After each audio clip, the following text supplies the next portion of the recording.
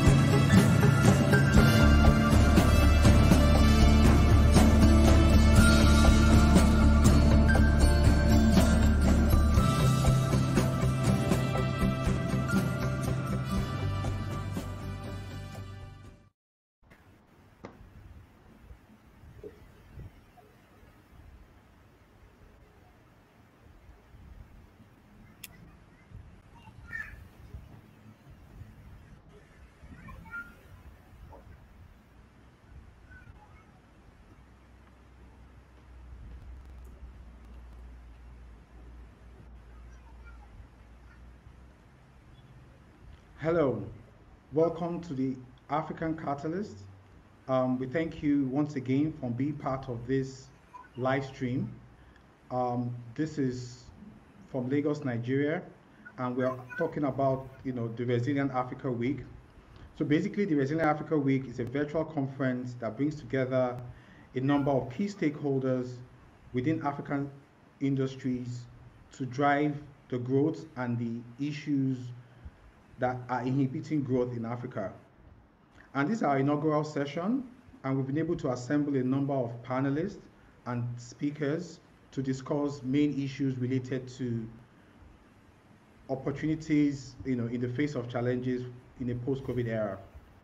And we have um, our first inaugural panel session um, taking place here now. Um, we have a topic which relates to post-COVID Africa and how economics, um, how various economies in Africa can leverage on this crisis to spur a new growth strategy. We thank you once again for this, and please enjoy yourselves. Um, I'll, now hand you over to my other co-panelists uh, to basically start the discussions. Over to you, Mosope. Thank you very much, um, Femi. I'm Mosope Arubayi, Chief Economist at Vetiva Capital Management Limited, and it's a delight for me to be moderating this session. With me in the session, I have um, Arthur from the OECD. Arthur, thank you for joining me. And I have um, Tim as well from KfW Research. Thank you very much. And we're still holding up for Professor um, Aremu. He's probably having some technical issues. He'll join us um, as, as soon as he can, hopefully. So um, the year 2020 has been quite an um, eventful one. Uh, I, I dare say we've we've had better years. Um, a global pandemic is is in full swing and is poised to up, upend um, lives and livelihoods. Like dampening any previous optimism we had for, for growth in the year. Since the um, onset of the outbreak, um, various economic units, individuals, businesses, and governments at different levels have been reeling under the impact of the um, pandemic. Uh, for Africa, the critical role that um, commodities and tourism have to play in our economic structure makes the region particularly vulnerable at this time not only to shocks to its um, public health system, but also shocks to its external demand uh, for its um, resource and non-resource export. So myself and my co-discussants will be shedding more light on um, Africa's current economic reality and how the region can position itself for a sustainable growth post-COVID. Um, so Tim, I'll be um, starting with you. Um, looking at um, Q1 macro numbers that have been released um, so far from Africa, it appears that Africa, the impact of the um, pandemic in Africa has been less severe compared to um, what I've seen from um, um, developed economies. So the likes of Nigeria, Rwanda, Ghana, even though slow, uh, slower growth was recorded, but we've been spared the um, magnitude of contractions which we've seen in, in, in developed economies. What do you think are the reasons behind this um, disparity in impact? Yes, thank you. And also pleasure to be here and speak about economic issues and the economic impact of the current crisis. Before I answer your question, I will sort of briefly introduce myself. As you said, I'm a economist at KfW Research. KfW is the German Development and Promotional Bank. We are active in various sectors, mainly focused on Germany, but we also handle the international development aid for Germany and also supporting uh, Africa and African economies. Um, answering your question, well, yes, um, so far we don't really see the impact. That's mainly because the Q2 numbers haven't really come out yet. Um, while we haven't really seen an impact yet, uh, not even in the Q1 numbers, is I would say is that related to the time lag of the crisis as well as its geography. In Q1, it, the crisis mainly affected China, and at the end of Q1, we saw actually drop in tourism numbers coming to Africa. Um, but uh, we, given the nature of trade Africa has with China, it's right at the beginning of value chains. It's mainly raw, unprocessed material. So our experience from the past crisis, the 2007 to 2010 global financial crisis, there was a time lag in terms of the export and import figures. Um, so we really have to wait. I will imagine that we will see some numbers or some figures actually coming down in Q2 because it also coincides with the crisis having an impact in Europe, the US, yeah. and then later in Latin America. And the last one in the chain is really Africa, where the crisis is now really taking a hold.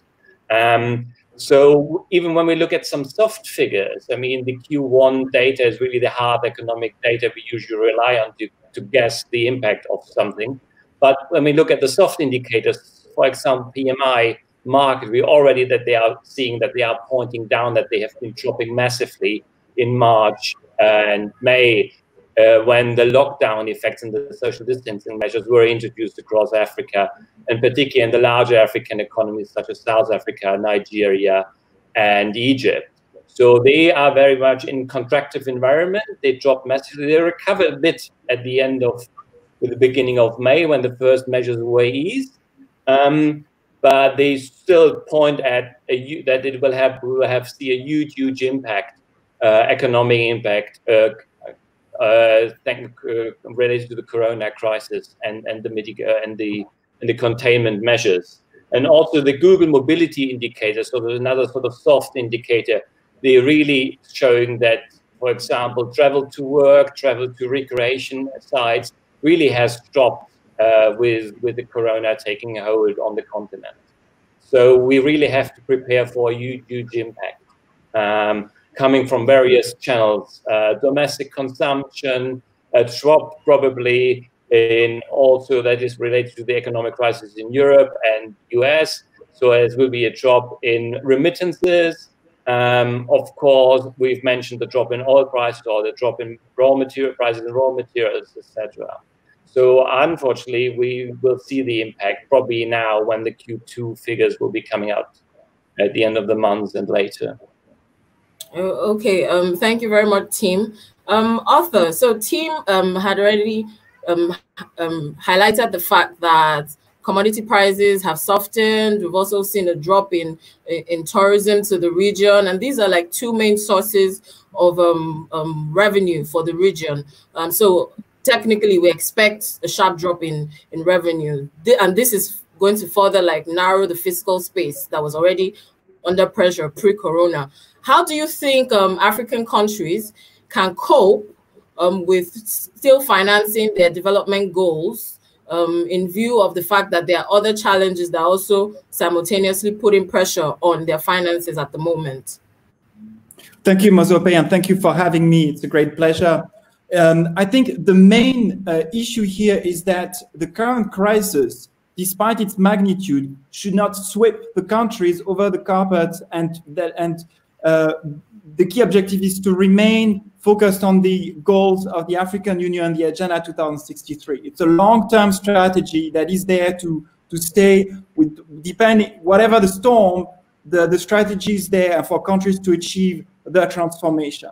So now with regards to the fiscal space that you mentioned, uh, the first key area for intervention is happening today. It's about debt restructuring uh, or a canceling of the debt that is being negotiated with the G20, with the Paris Club, with the World Bank, with the IMF, with different packages that have been already being uh, set up. Let's rem uh, remind ourselves that debt is about 60% of Africa's GDP. And if they were, if the, um, the African countries were to set the same type of stimulus package that the European countries would have, it would increase to about 80%. So there, is, there are big discussions there, but it's, it's the first tool for countries to have pro-cyclical uh, uh, policies. The second and very important one for the fiscal space, and that very much depends on the debt, is the taxes. Taxes are about 17.2% of tax to GDP ratio, uh, which has increased uh, in recent years, but very recently has stagnated. And there's also huge heterogeneity between the African countries. We are also expecting that with the crisis, the taxes will decrease uh, because of the reduced consumption, because of the reduced exports and the falling commodity prices. Uh, so there's further bracing is needed there. But to give you an insight into the heterogeneity, we look at countries like Nigeria, it's about 5.6% of tax to GDP ratio. So that's far too low. But if we compare with countries like Tunisia or the Seychelles, it's about 34% of tax to GDP ratio. So it's better than the OECD average. So some African countries have been doing very well here, and they scope to learn from the different African countries uh, uh, what type of tax measures uh, uh can be implemented to, uh, to, to, to, to improve the situation. The third area for the fiscal space is, as Tim mentioned, is with regards to external financial inflows.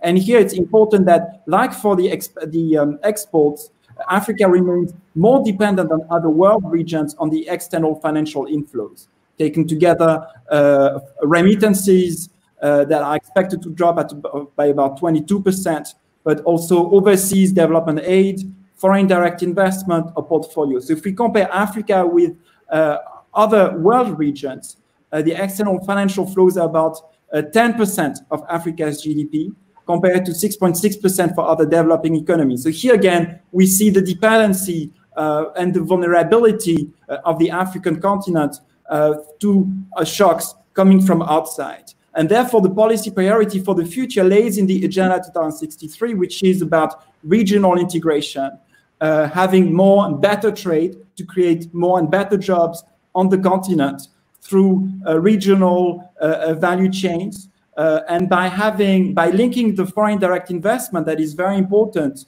through technology transfer, through linkages, through the ecosystems to the, the local uh, in particular the small and middle-sized enterprises that are key to create jobs. They create about 22% of the net job creation today comes from the SMEs. Uh, so it's really key, and they cannot survive. They don't have um, um, support today uh, to face the crisis. Uh, and as Tim mentioned, the macroeconomic forecast will also depend whether we see a second crisis. So for now, Africa has been able to, uh, to, um, to, to, there has been a very good policy response policymakers in Africa have reacted very quickly uh, compared to other parts of the world. So that's very positive, and that's a very good sign coming from the continent.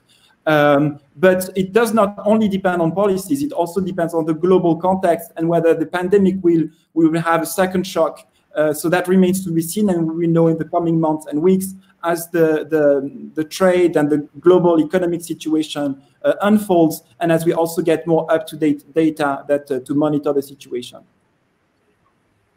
Okay, thank you very much, um, Arthur. Um, still with you, you work with the OECD, and um, OECD member countries are usually regarded as the big brothers to developing um, economies. Um, how much capacity do you think um, member countries of the OECD have at this time to provide aid to Africa, um, like you had mentioned, um, considering the fact that they've also been severely dealt with by the pandemic and you have developing um, economies requesting for aid simultaneously. So how much capacity do they have at the moment to support Africa at this time? Thank you, Mosope. We are we are brothers and sisters, but we are not bigger than you. So I work here at the OECD Development Center. We have about 57 member states, and including 11 member states uh, from Africa. So we speak on an equal to equal uh, partner basis, and all the member states have equal stakes uh, and uh, equal uh, voting rights at the OECD Development Center. And the idea for us is to have a platform for policy dialogue, to exchange on best practices with up-to-date data on how to shape better policies for better lives. So we are also, it's a mutual learning process uh, that we learn a lot from Africa. And, uh, and we want to exchange uh, uh how to answer to this crisis together. And this is why your, your, your, your question is very pertinent because the crisis, the response to the crisis will depend on the ability of the, uh, of the African countries, the, through the aegis of the African Union, but the whole international community to find a common answer through uh, uh, co development cooperation. And here, while ODA is of course very important, I think the onus is on the is on the debt, um, the debt negotiations that are taking place right now.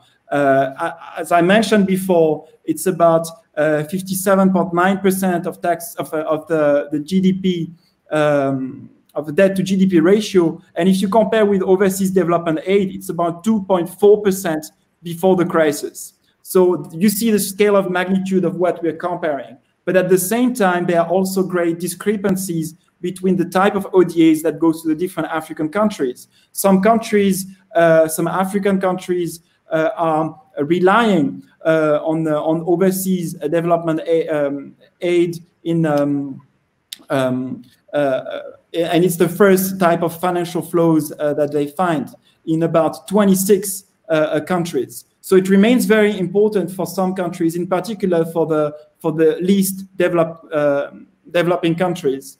Uh, and it is also important that the OECD economies, we have among the OECD economies, only five countries have met the, uh, the international commitment of meeting the 0.7% of, the, of having ODA uh, as a share of the, of the commitment to, to developing uh, countries. So it's important that the ODA can continue to step up. It's a, a reliable, it's an important uh, source of flows for many countries, but it can also better be used, as mentioned, be related, linked to the, to the debt is very important.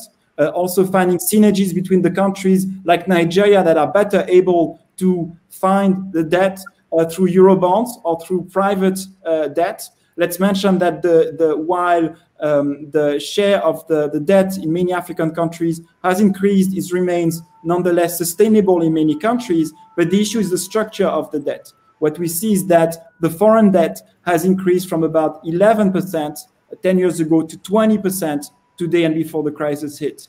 And this may have, and similarly for the debt issued in foreign currencies, that is typically more volatile.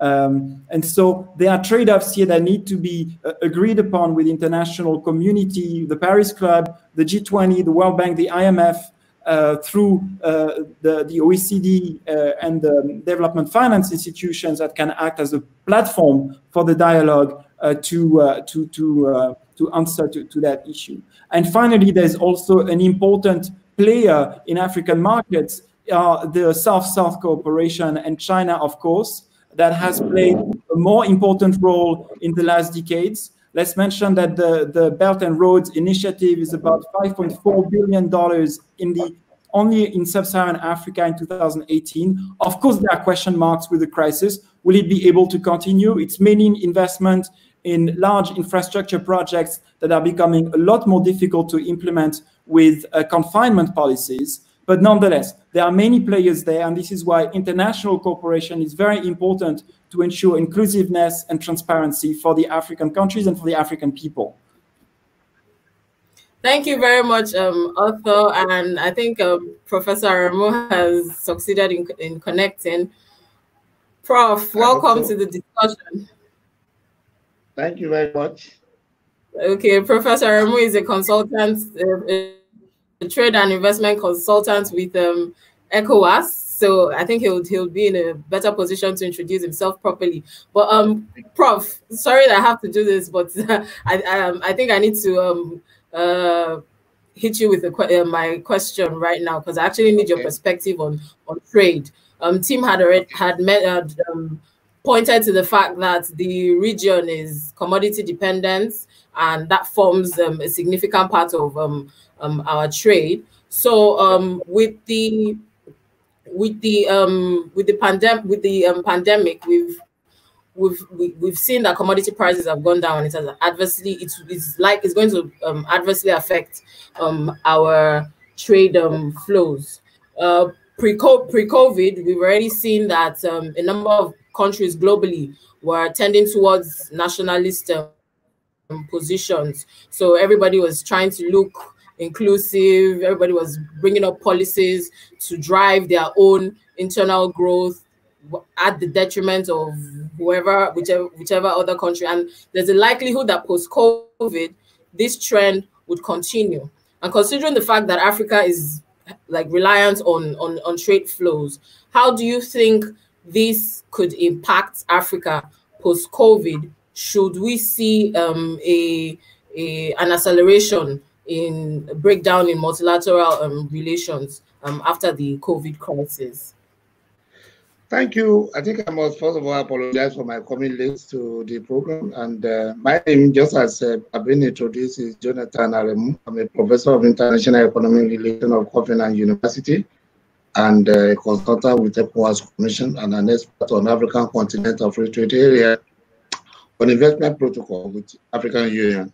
Uh, just back to your question, it's rather unfortunate that the entire global space is moving back to what we had in 16th to 18th century. And what is it? It's a mercantilistic era. The era of mercantilism, the era in which people believe that if you export, you are better off. If you import, you are worse off. But the real question is that if everybody wants to export and nobody wants to import, then who will they sell to? Everybody. So that, that actually, I I mean, let us see the uselessness of uh, mercantilism, the uselessness of excessive protectionism. You see, our countries have a trading blames. I mean, when you listen to the American and the Chinese promoter of trade, Mr. Wang uh, Jive, he recently said that uh, the rising protectionism we have negative impact on the global space. And not only that, that uh, describes it as a short-sighted, narrow-minded, and uh, that we fundamentally worsen the situation of the global space. But America replied that uh, Chinese is the major culprit of this because Chinese embark on actually supporting exports on energy so that they can make the price of their export to be cheaper. You see, So people have been trading blames. I mean, um, France, France as at now is, uh, uh, you know, 14 times better in terms of uh, 14 times greater than uh, its own exposure to other countries uh, exporting to them. So you discover that nearly all countries are, you know, more or less participating in this era of uh, what you can call uh, progressive protectionism. Which to me, it is the era of where we left behind before free trade uh, uh theory came up, in Latin America. But unfortunately, we're having our own fair share even in Africa. I mean, you recall that Nigeria closed its border to ECOWAS, despite the fact that is the big elephant in the ECOWAS region uh, because of uh, the reason of uh, issue of uh, dumping and all those kind of things. And then all of us were caught up. We were caught up in uh, the problem of uh, we are caught up in the problem of uh, COVID, and uh, with the issue of uh, this uh, uh, protectionism, to which every country have been engaging upon, and unfortunately, we are now all caught up in uh, COVID. And COVID aggravated it by blocking uh, you know, borders of member of countries, even where we have economic integration. So the issue is that just as you now ask, will this now be worse off after uh, COVID? Or even without COVID being finished? Will this continue and will it not actually affect multilateralism? Let me say this one. Within the global space, one country or the other have been engaging in free trade area with another, despite the fact that we all belong to WTO. I was privileged to be in uh, the last ministerial conference of WTO in uh, Argentina, and uh, what happened there is each of the compartments within the global space were actually talking of what to benefit them, and that is not in the spirit of multilateralism. To the extent by the time we finished that particular conference in December 2017, we could not actually get a concrete communique that we can see we can hold up on. Investment facilitation, which was taken here, no way. E-commerce, no way. Even another one that has been negotiated on pro basis, we couldn't conclude. So with the um, COVID-19, what will actually happen? To me, I think that um, multilateral regionalism, multilateral economic, um, uh, what can I call it? I think uh, regionalism on multilateralism has provided under Article 24 of WTO will continue. Countries will continue to engage in economic integration among themselves. It's provided by WTO. But it shouldn't be at the detriment of the global space. But the good thing about this is this, particularly in Africa, we are really survived in the past many years, initially under slavery, followed by colonization. I think this is the time Africa need to be able to actually put themselves together.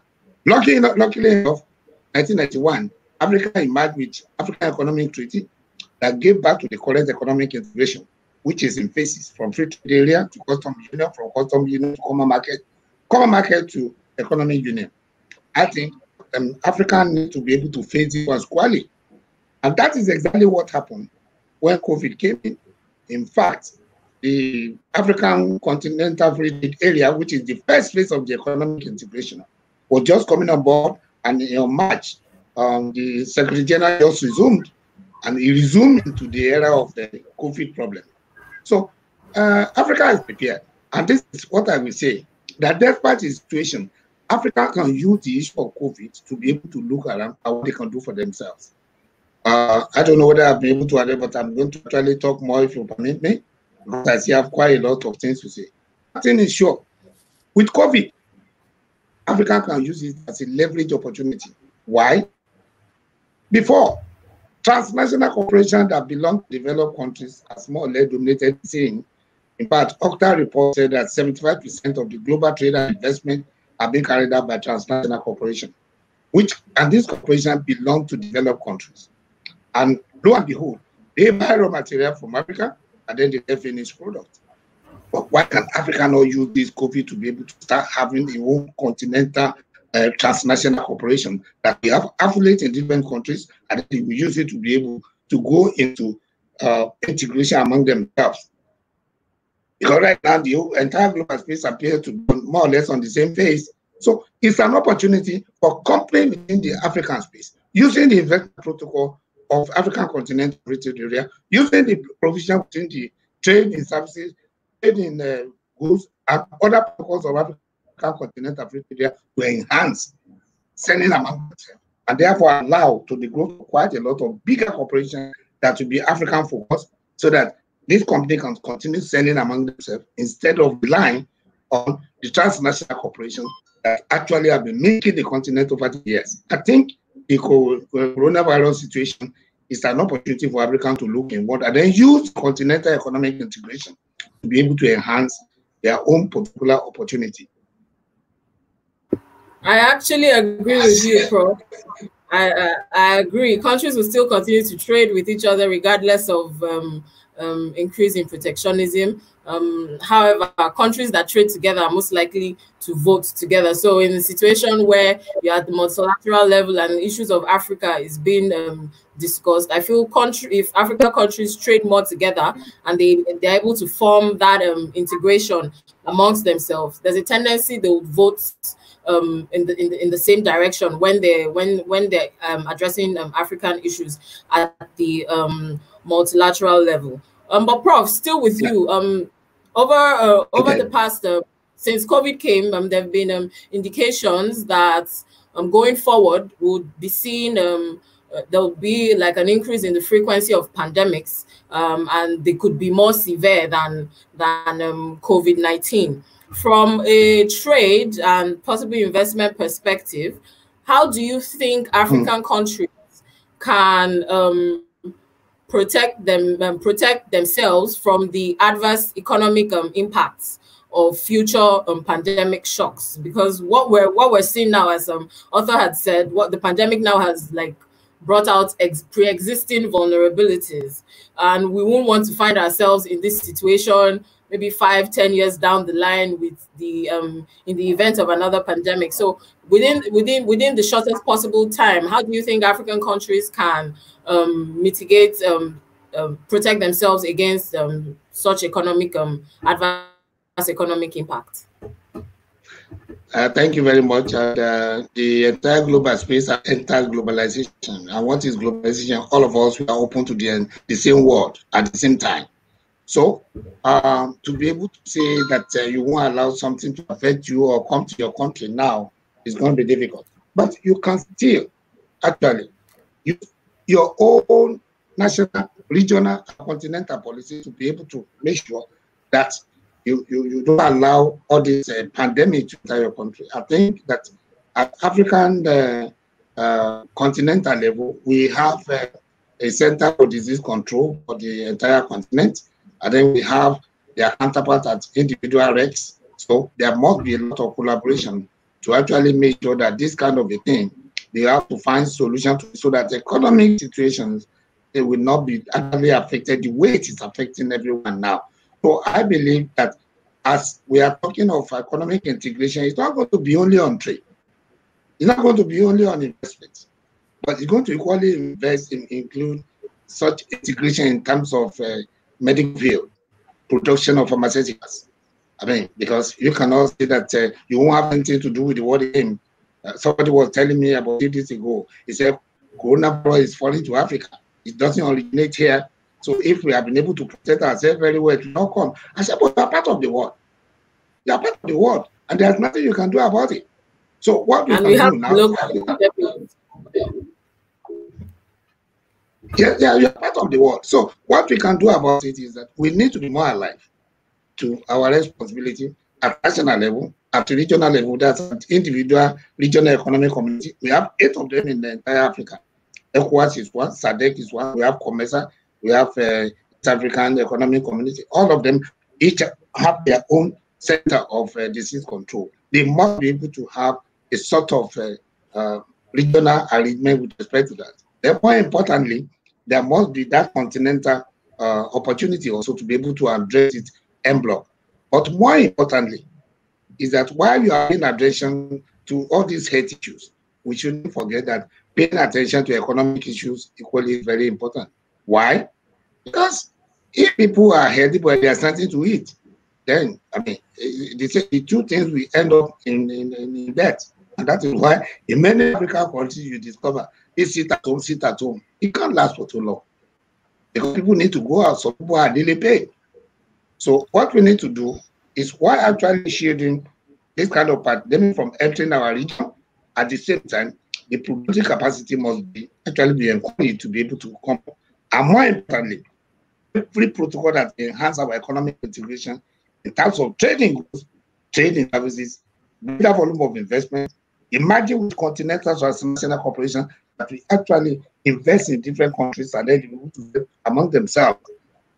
When you look at our tradables among ourselves in Africa, it's about 12%. But look at um, European Union, 60 something percent. Why? Why? And then when you look at um, East, look at NAFTA. NAFTA is about 40%. We are not trading among that. That is why head of state, like um, the president of Kenya, said that we cannot continue to trade with you, with America, with Asia, but not trading among ourselves. So these pandemics are created a situation where we must look for solutions to be able to trade among ourselves. So that global exposure to everything, including trade and pandemic, will actually be minimized to a certain extent. Okay, um, thank you, Prof. I'm um, building on what you said. Um, in in addition to um, trading amongst ourselves, it's important. Trading amongst ourselves is important so as to discover new markets. Um, the Europe and Asia like, constitute a significant portion of of our of our market, and Africa is less than fifteen percent. So.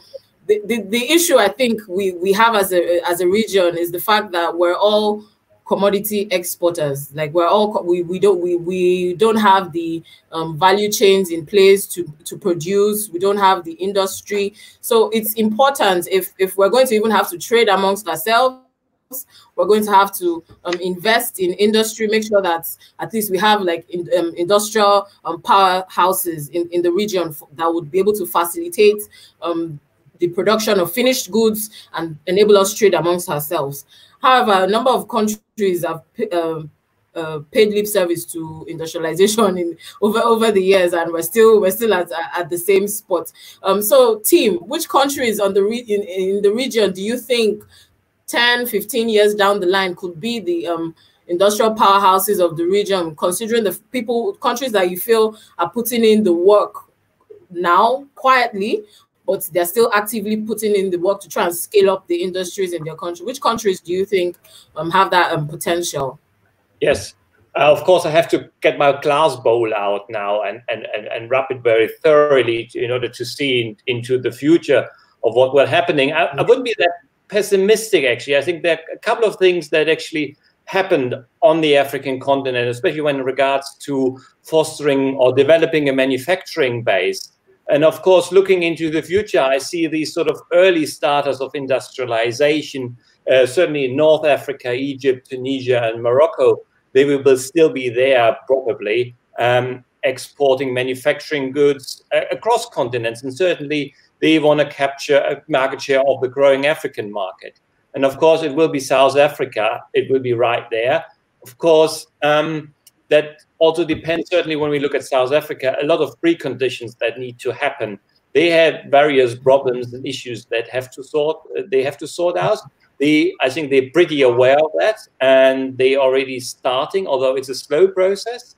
Um, it, it, reforming is slow. It can be slow. There are various sort of stakeholders that have to be convinced that actually reforms are good.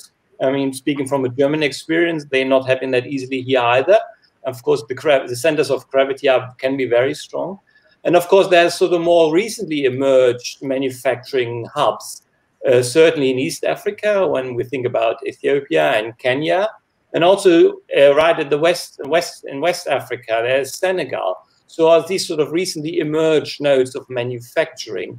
And given they continue with that investment, and the priorities they were given to fostering a manufacturing base, I think there is a huge potential that they will be still there, um, slightly bigger uh, than maybe they are today, but certainly also transformed. I think the experience of experience of becoming an industrial hub or fostering a manufacturing base will be very different, certainly from the Asian experience and the Chinese experience. And by Asian experience, I really mean these sort of Taiwan and um, and Singapore and Korea. Um, I mean, the world economy has changed, and um, it has changed uh, in a direction where it becomes more digital, um, more just in time. And recently, the Corona crisis has put a premium onto the stability of global value chains.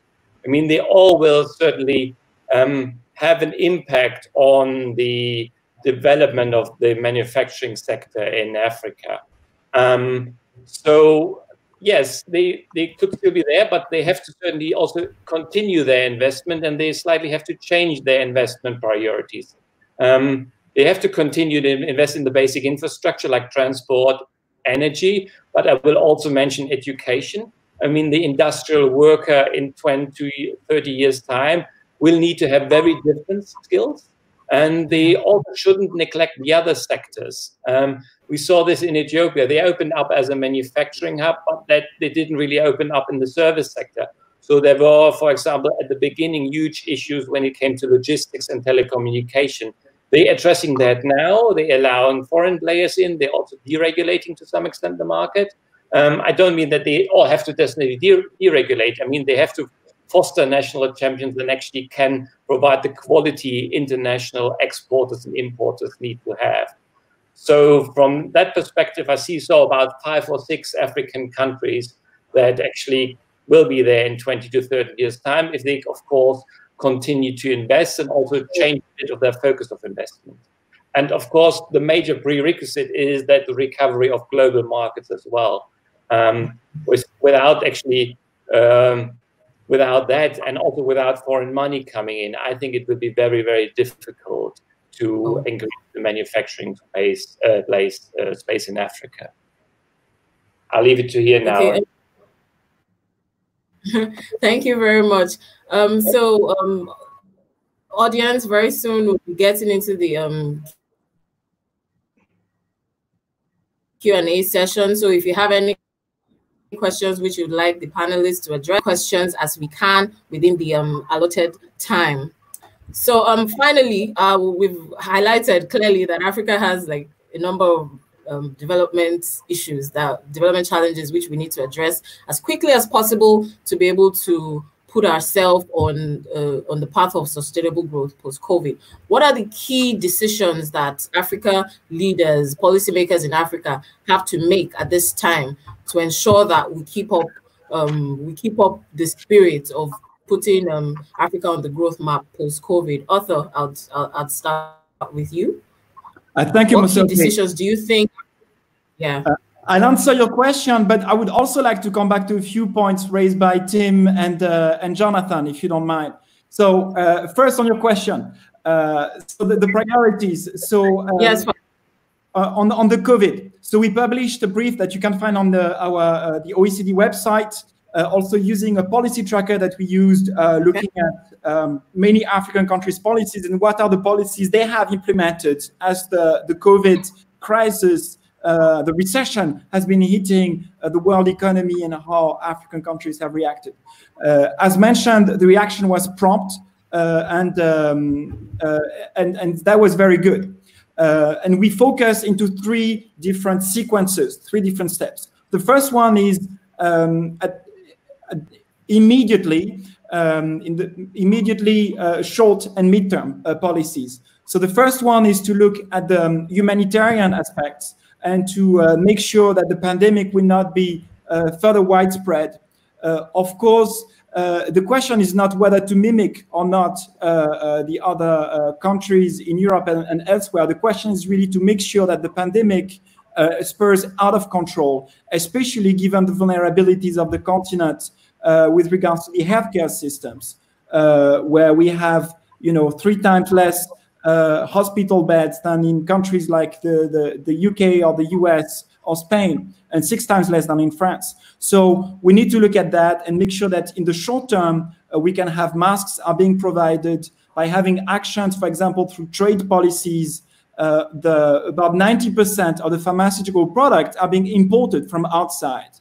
So we need some of the trade distortions need to be eased there to make sure that uh, the, the answers can be, can be, the policies can help uh, private and public sectors answer promptly, immediately as part of the relief um, for, the, for the crisis. Of course, it also needs to take attention to the informal sector, huge. We have about 86% of the labor force in uh, most African countries in the informal sector, with 10% uh, having access to social protection mechanisms. So making sure that the people who are not registered who uh, cannot, who don't have bank accounts, uh, can also uh, are not forgotten and can can be benef benefiting from um, you know cash transfers through the digital uh, mobile money services. Here we have new opportunities with digitalization, also for the companies, the small, middle-sized enterprises, including in the informal sector that can benefit from um, uh, guarantees uh, to guarantee the debt there to make sure uh, that the countries and the, the, the, you know, the economic forces of the countries, the mainstay of the economy, can survive throughout the economy and through the first, uh, the first shock, and also be prepared in case a second shock happens after the summer, because it could happen in Africa, but it could also, as we have seen, be exported from outside. And even if the African economies and African people are less hit than the others, on the economic front, they are, the, the, the shock is terrible. Uh, so, so that's the first step. It's in the short term. The second one is also, um, uh, I mean, now and in the coming months, is to have the, the macroeconomic leeway uh, through through policies that can improve uh, uh, help the spending of countries. If we take the, the, the situation of Nigeria, Nigeria used for its for, for, for forecasting its spending the oil prices at about $60 the barrel. Now it hit $20 the barrel. and uh, most 90% of the government revenues come from the export of oil. So the situation is very different today than it was in January. And this needs to be taken into account, and the, the monetary policies need to be adjusted. The inflation targets may have to be adjusted in some countries. As Jonathan highlighted, this needs to be done uh, together with um, the regional economic communities, uh, with the ECOWAS, or with the, um, um, you know, the UEMOA in the in the in the francophone countries of West Africa, for instance, where we have um, a monetary zone, and this has strong uh, implications for the future because we have strong discussions about the eco as a, as a common currency for West Africa, for instance. So there are wide-ranging implications there. Um, uh, so, so that, that's the second step. And the third step is about the broad range objectives that I mentioned at the beginning with regards to productive transformation, with regards to industrialization, with regards to creating jobs, better jobs, and that goes in the manufacturing sector, but also in services. And in services, through digitalization, through uh, increasing also, we have new activities like tourism that can help uh, create better jobs that are also very vulnerable to, to, to, to shocks.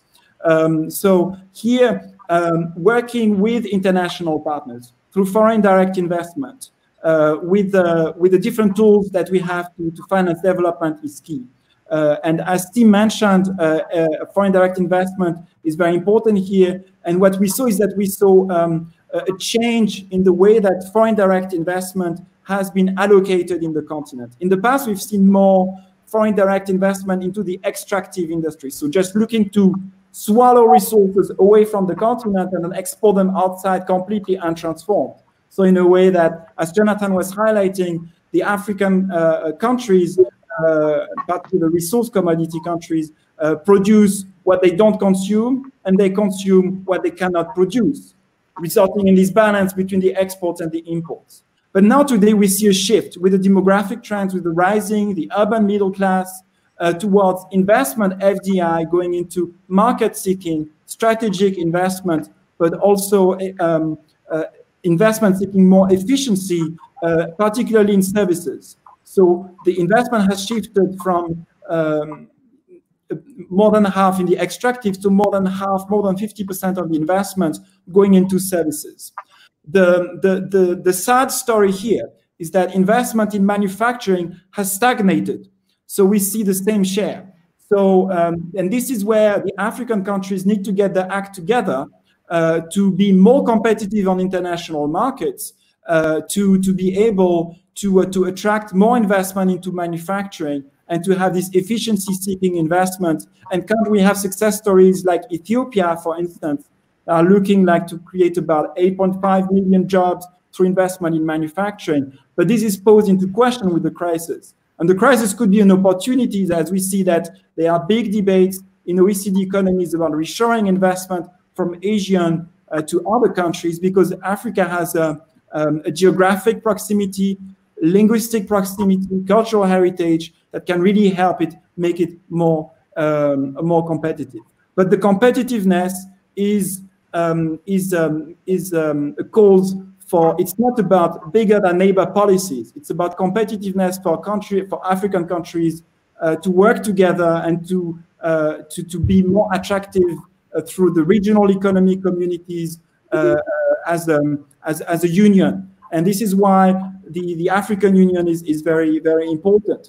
And here there's a lot of work that needs to be done between the African countries, including with Nigeria, where we saw that there are lots of trade distortions and also where the trade with the neighboring countries uh, can be halted. We know uh, the reasons, but these are very clear issues for African countries to work on. And now let me um, refer to some of the elements that uh, uh Professor Aremu was mentioning with regards to intra-Africa trade.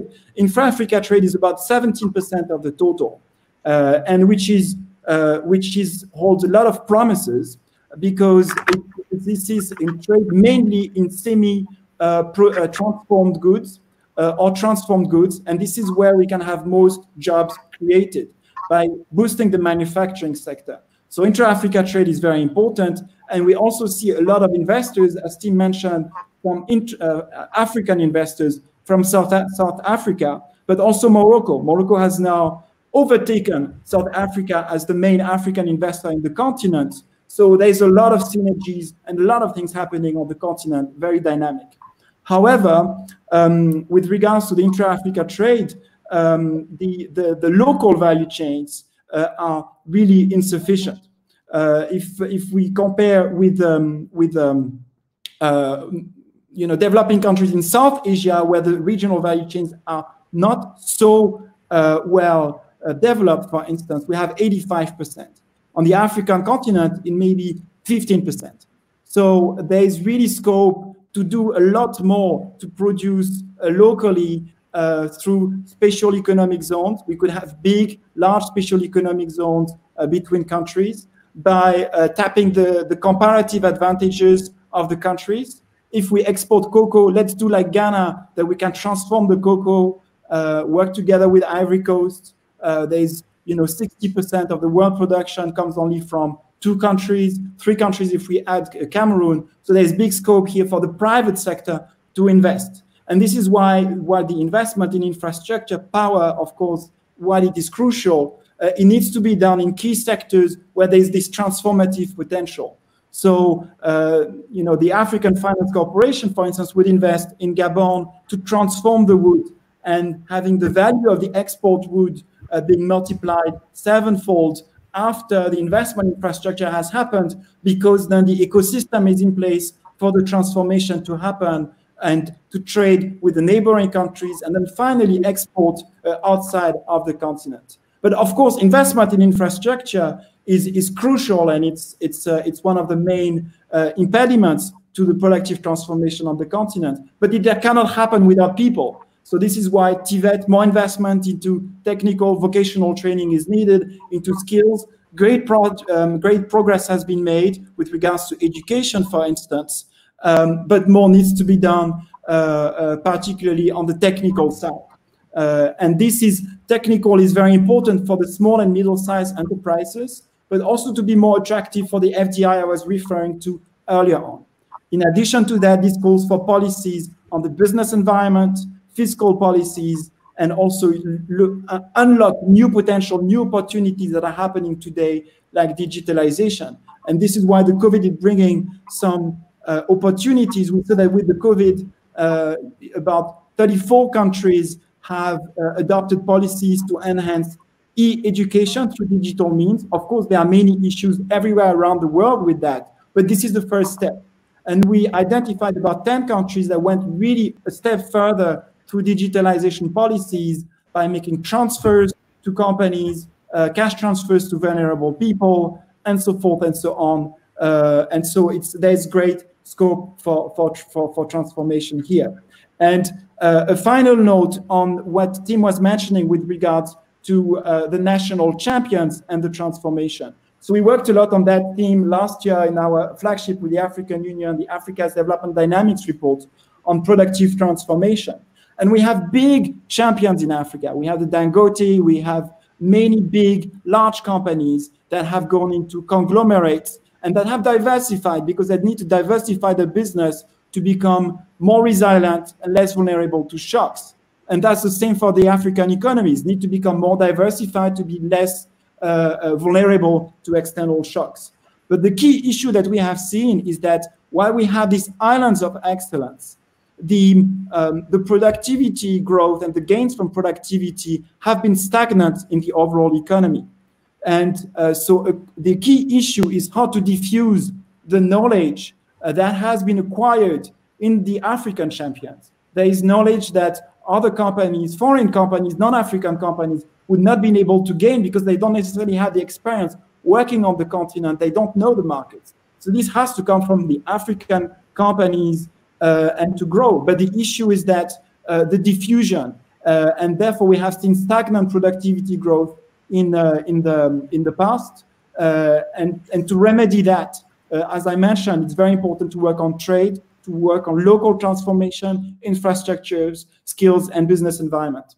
Thank you. I spoke a lot, but uh, I thought it was important to mention.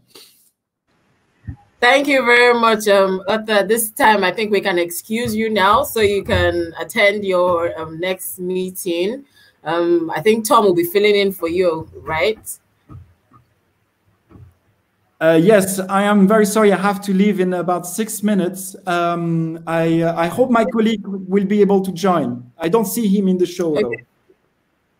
Okay, it's it's fine. Thank you very much. Your contributions have been quite um, insightful. Prof, um, I see you have like additions to what um, Arthur has has said, so I I think you can um, go now. Yeah, thank you, um, Manoto, for that wonderful contributions. And um, in Africa, maybe I need to mention some of the things that we are already doing in the area where you have mentioned. You know, let me start with the ECOWAS Commission, where I've actually been working for quite some time. Um, ECOWAS discovered that there is need to follow our economic integration in line with what the fund fathers put in place. And therefore, apart from the free trade area, which was in form of um, on the free trade area, which we call ECOWAS Trade Scheme, ECOWAS upscaled to the level of uh, a common external under economic union. But more importantly, ECOWAS is moving ahead to a common investment market under common market. And then on the 22nd December 2018, ECOWAS has its own investment code signed by all member states. That is to say, investment can move across borders to be able to enhance opportunities of collaborations among production, manufacturing, um, service, businesses, and everything. I was privileged to be the consultant of that project until it was signed by all the head of state. But we upscaled this one when the African Union discovered that this is a beautiful thing ECOWAS is doing, then we, it was upscaled, and then the African Union equally uh, assembled some of us to put it together what we have an African investment code. That was finalized in uh, 2016, and we now have a code uh, for the entire Africa upon which the investment protocol in the next negotiation of African continental free trade area will actually be, be used. So we are saying that again, in ECOWAS, we have capital market integration. The stock exchanges, they are talking to themselves the, the, the Security and Exchange Commissions have to themselves just to be able to make sure that capital can move across borders. Where there are shortages, then where there are surpluses that in other countries can move there. So that one economic space can actually exist. Also, see, our trading in Africa, not only in ECOWAS, we use international currencies. And these international currencies deplete our foreign exchange. So we came up and said, why can we not have a payment system? And right in Africa, uh, ECOWAS just finalized uh, last week, just finalized last week, the conclusion of a validation of a ECOWAS payment and settlement system. That is to say that instead of using euro, dollar to be able to trade among ourselves, why can we not actually use our domestic currency? I want to buy something in Ghana. Once the Ghana man receive the cedi, which is the domestic currency, and once I can pay my naira in Nigeria, then we are saying, why should we actually use dollar? And then say, Africa, Afrexim copy this, and that is what Afrexim is equally using in the implementation of uh, uh, African continental free trade area. But more importantly, is that this is a serious wake-up call at COVID-19. It's a wake-up call that we can do quite a lot, and we have provided a lot of policy environment upon which member states ECOWAS, member states in ECOWAS can actually continue to actually work upon. We have raw material base. Then, let me say this again. Most of the countries in the world that are called developed, they are developed because they manufacture, not that they produce primary products. Primary products are being put there by God. And therefore, if you cannot add anything to it, you cannot say you have developed. Therefore, we have abundance of the resources in terms of raw material, but we are moving ahead and let me say this again, that we are saying one greater trade, one greater trade, but before you can trade, you have to invest. And that's why we put up a lot of uh, uh, environment that will enhance uh, trade. Another thing which I want to mention is this. For existing foreign investment in foreign rights investment and have portfolio investment in Africa, they are, they are corporate citizens of Africa. They will enjoy the same opportunity that's available. Under Pan African Investment Code, which I was part and part of those who are developing, as well as several common investment market code, they will enjoy it. But they will equally find it easier to be able to integrate on themselves better because they are African corporate citizens. Then the domestic entrepreneur also will be able to do a lot of vertical integration to this transnational corporation existing in the region, and then the entire region will develop. What we need to do as a result of this pandemic is to make sure how we can better integrate among ourselves in terms of investment, in terms of trading, in terms of services crossing border, in terms of movement of the people, in terms of technical skill, so, so that we can actually enjoy the comparative advantage that has been God given, rather than relying solely on the developed country. And then right now, COVID-19 is not even allowing all those developed countries to be able to give up what they were giving us before. In terms of uh, things like development effort, in terms of money, uh, the money, the, uh, being development partner, and then they were giving up, they themselves having problems. So that is looking in what is far better now, and we see the opportunity to be able to ensure that a lot of activities among ourselves are enhanced, and so many meetings have been taking place. After this meeting, I'm going for another many, many meetings to be able to make sure that both ECOWAS and Africa, they actually see what they need to do and do them well. Let me stop in that place for a while. Thank you. Thank you. Super.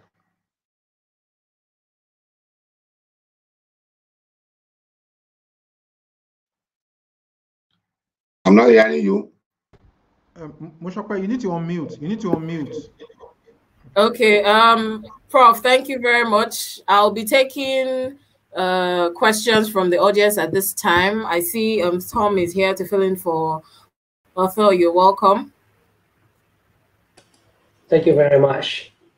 Yeah, it's really great to have you. Um, so we have this, question from Botidem Jackson. Do you think the private sector in West Africa has the grit to drive growth? Um, I think um, I'll leave Tim to shed some light on that. Do you think Afri uh, West Africa's uh, private sector has the grit to drive growth? I think it depends a bit. I mean, economists always say it depends on something. Uh, it depends on what you the private sector. Uh, of course, when you sort of the, the formal, the private formal sector is is very small in West Africa. Uh, we see the thriving scene of startups and SMEs, and I think they will certainly will play a big big role in the transformation of African economies. The question I have is the scale of transformation. I mean, these still very very small companies so we really need to get a policy in place where we can actually grow them and also grow them in a way that they actually create jobs.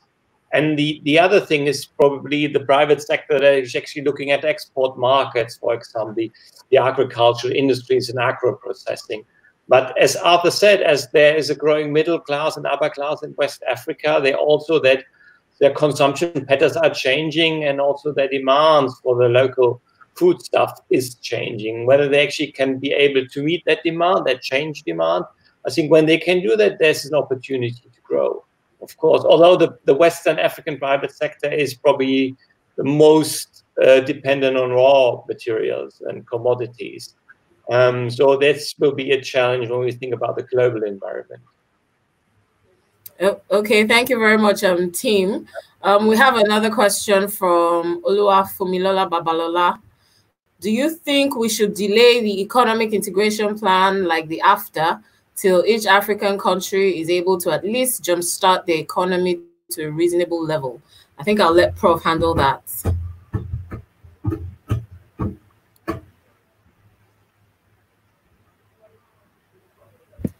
Prof.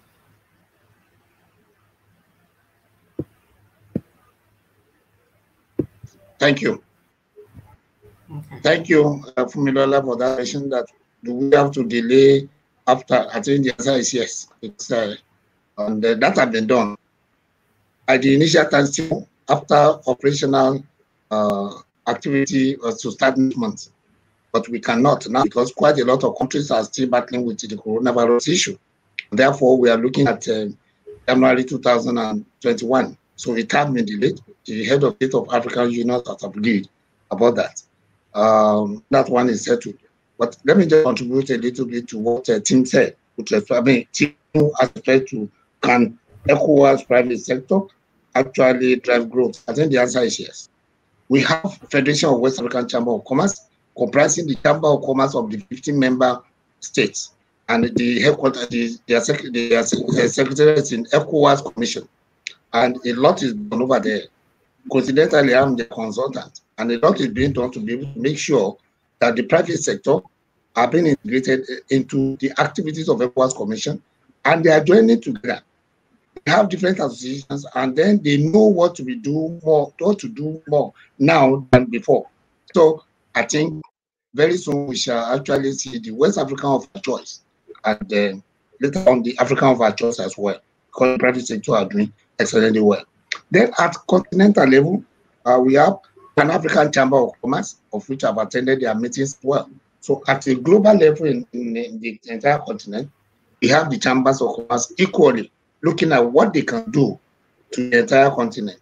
So we are fully prepared.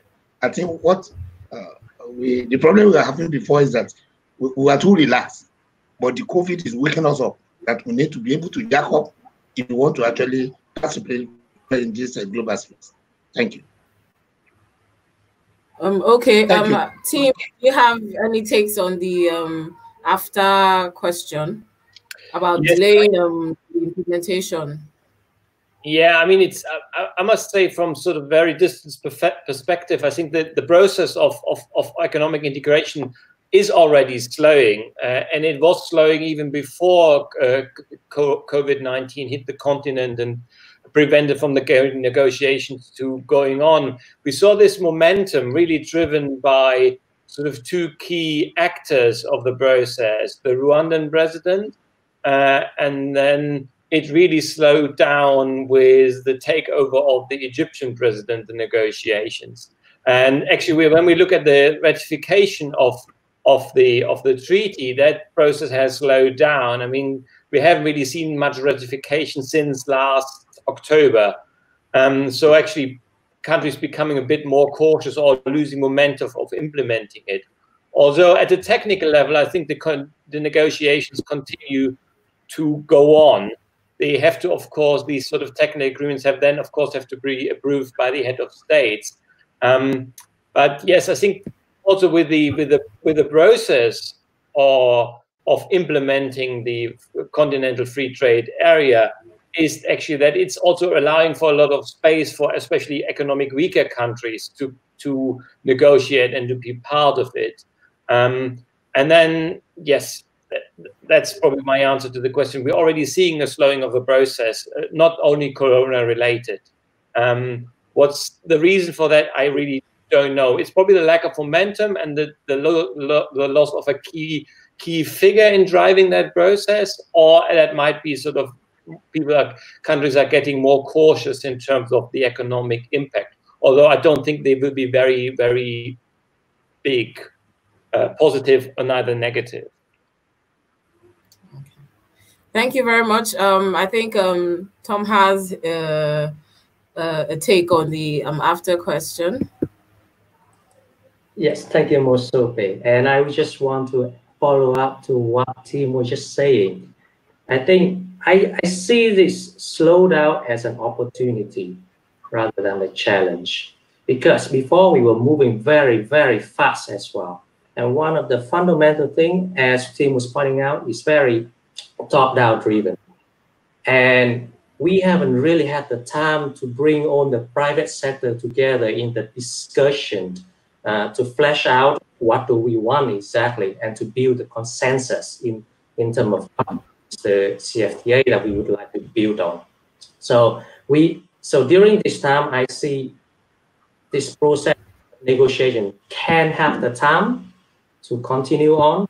And clearly that we have finalized the first round with the trade and goods agreement, but there's still many other uh, that still need to be discussed. As Jonathan mentioned earlier, rules of origins, trade and services, there's lots of them that now is the time and is the moment to, to really discuss, build the consensus and flesh out the details so that it's easier for us rather than five years down the road when we try to review something. It's become very complicated. So yeah, I think it's not necessary necessarily this. Okay, um, still with you. Um, we'll take this um, final question. In the short term, what should individual states across West Africa do to formalize the large informal sector? That's a question from Botinem Jackson. So, any takes on on this? What do you think African um, countries can do to formalize the informal sector? In Nigeria, for instance, the informal sector is quite it um, constitutes a significant portion of, of the GDP. So, how do you think we can bring them um, into the informal space? Can I? Yeah, sure. yes. Yeah. So I think I think like in the short term, that the key thing is is still account for the majority of employment. So it is very key that we have to protect them actually. It is very key that we can allow that informal workers can still have access to their livelihood during the COVID time. But even in before COVID time, when, when we see urbanization is a strong drivers across Africa and the need for reorganization of informal sectors when sometimes with local government especially, there is a very strong hostility against the informal actors. So how can we embrace the informal actors like providing services for them, the marketplace, and so that that they can thrive on? I think that should be the immediate first thing to do. Now, there's along the way we would like to formulate, and I see there there's probably two things that we need to do. First is this carrot and stick approach, right? So we need to provide the, the real incentives for firm to formalize by provide by providing what the services that justify why we are taxing them, placing additional burden on them. And the second one is more on the enforcement. And here I see the digitalization as a key component. So now that, especially in East Africa, where, where you see the volume of uh, uh, payment being increased several fold with the COVID crisis, it is a great opportunity to first bringing all these actors to use digital platform. And once you are able to uh, to have these things re registered into digital format. Like then what is the central bank of Rwanda does is they have a digitalized uh, reporting system where every 15 minutes they would pull the data from all the mobile money transaction. As well as every day they would pull all the reporting data from the different banks so that they can solely control what is going on on the flow of money in, in, in the process then that then there you can improve on your enforcement. So that is the first carrot and stick. As and the third dimension is we also have to think about creating jobs in the formal sector as well. And if you were to look at all the self-employed workers, which is the large part of this of the informal sector, then a third of them do so because they cannot have access to any other jobs. It is still so livelihood. So there it comes back to our discussion earlier about creating jobs in, in the formal sector by using industrializations to our advantage and also developing the digital economy. So I think those are, in the short term, protect them. In the long term, uh, carrot and sticks, and build jobs in the formal sector, those I would see really a three ways of thinking about the problem. Yeah. Thank you very much. Tim, would you have a few um, um, follow-up um, addi additions to what he said? No, no, actually, I think the, the OECD is more qualified to comment on that question than I am. So I would Okay, thank you very much. Um, unfortunately, we might not be able to, won't be able to attend to um, any further questions. However, we implore you to um, participate actively in the um, um, Resilient Africa Week LinkedIn discussion forum, where we'll be able to discuss the way forward for Africa and also um, take as many questions as as you may as you may have. You can refer to the confirmation email that came with um, your registration for a link to um, join the discussion um, forum.